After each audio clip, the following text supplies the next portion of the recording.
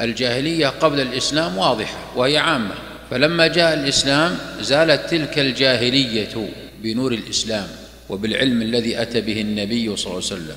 لكن قد تكون هناك جاهلية بعد الإسلام مما يحدث في الدين من بدع وخرافات لكنها جاهلية نسبية. ودليلها قوله صلى الله عليه وسلم إنك امرؤ فيك جاهلية. وأيضا قول النبي صلى الله عليه وسلم كما مر معنا عند مسلم أربع في أمتي من أمور الجاهلية لا يتركونها ولا تكون عامة لأن هناك بعض المصطلحات يروج لها جاهلية هذا العصر أو جاهلية هذا القرن.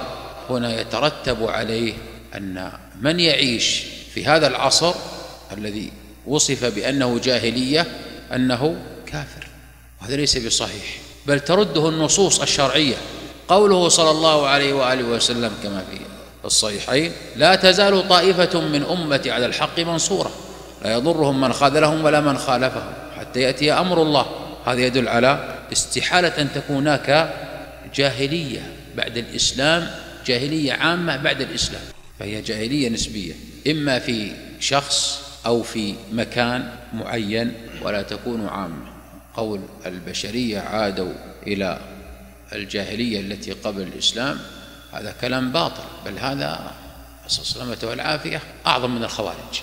هذا المعتقد الذي يقال به إن كان يقال ويريد أن يرتب عليه أمورا وأحكاما لكن كانت مجرد مقولة لأن بعض من الناس لسان لغيره مجرد ألفاظ يسمعها وإذا به يلقيها من غير ما يفهمها ولا يفهم ما يترتب عليه لكن إن كان يعرف ما يترتب عليها من أن هؤلاء البشر أو هذا الزمن عادوا إلى ما كان عليه البشر قبل مجيء الإسلام فهذا معتقد أعظم من معتقد الخوارج. لما؟ لأنه وصف الإسلام بأنه غير موجود أنكر الإسلام أنكر الإسلام.